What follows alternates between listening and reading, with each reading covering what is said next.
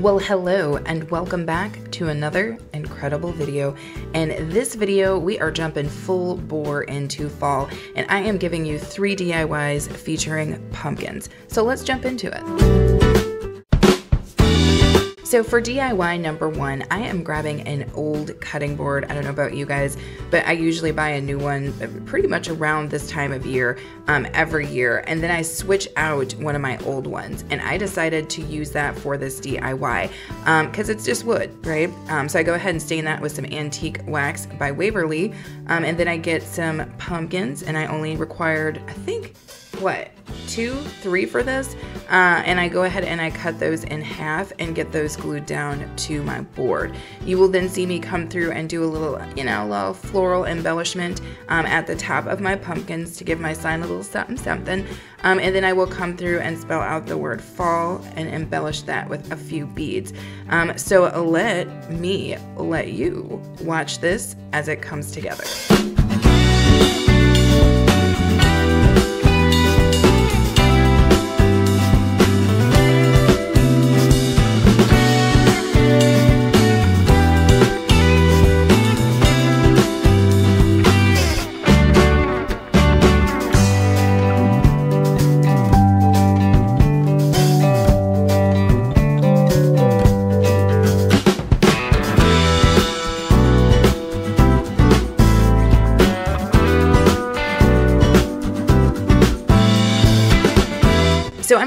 Little something different um, in my videos where I just kind of lay out what I'm doing, uh, but don't give a full play by play. Make sure to comment if you guys like this version or if you prefer the full play by play version in your videos.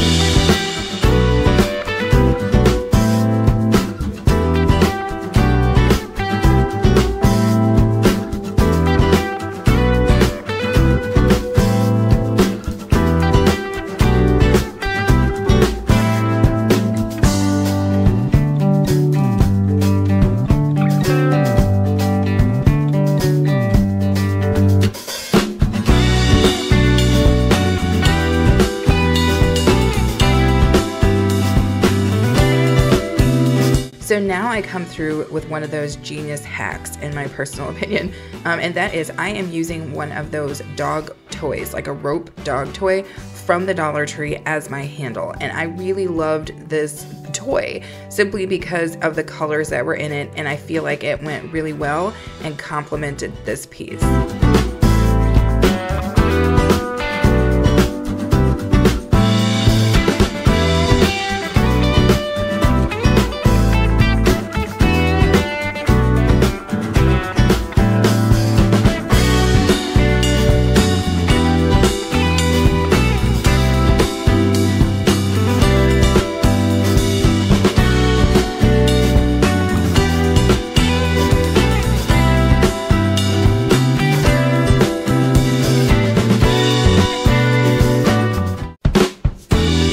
So for DIY number two, this one is so cute and so simple to me. I'm just using one of those square wooden boxes from the Dollar Tree. I give it a coat of, a, of, of course, Waverly Antique Wax. Um, and then I've had these pumpkin coasters that I got at Hobby Lobby when they went on sale. Um, and I just distress them a little bit with some white paint because um, as is, they were just a little plain for me. Um, and then I go ahead and get those glued down to the sides of my box. After that, I get to work and I try my hand, as I have been doing this season, at a floral arrangement. And you guys will see how this comes together.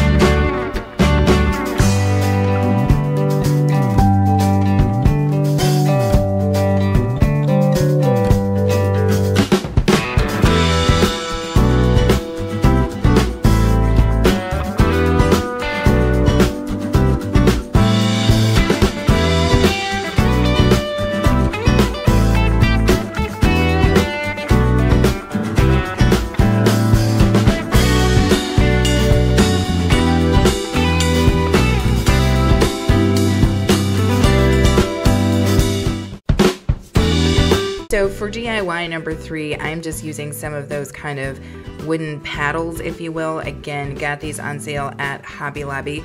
And I'm using a couple of foam pumpkins that I had both thrifted and purchased. And I basically start by creating a kind of three pumpkin stack on one of my paddles. And I just glue those half pumpkins down. Of course, I had to saw them in half. which is always a, a, feat because of the, the styrofoam. Um, and then afterwards, I just lay down some letters on the other paddles, which is uh, I used an F and then two L's because the pumpkin stack is acting as my A. Um, and I tried a couple different types of letters. Um, the first ones I tried I didn't really like, um, but I ultimately settled on some white letters. Um, and then you will see me kind of distress the paddle piece. Um, and that is it. I will add a little bit of a tumbling tower block to the back of each uh, paddle, if you will, so that this piece stands. Um, and I will let you guys watch as this comes together.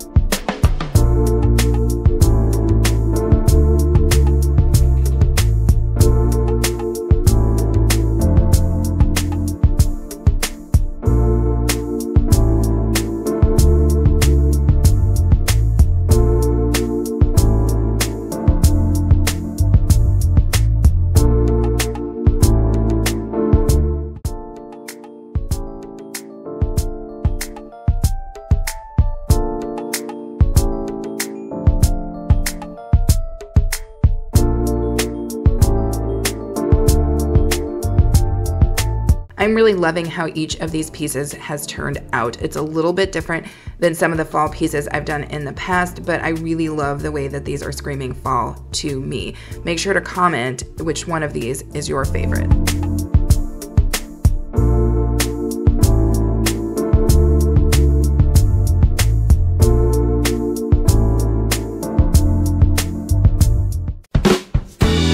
Well, as always, I cannot thank you guys enough for watching. We very much so appreciate you here. Uh, make sure to subscribe if you have not already. And of course, we invite you to come back, hang out, and be okay with us.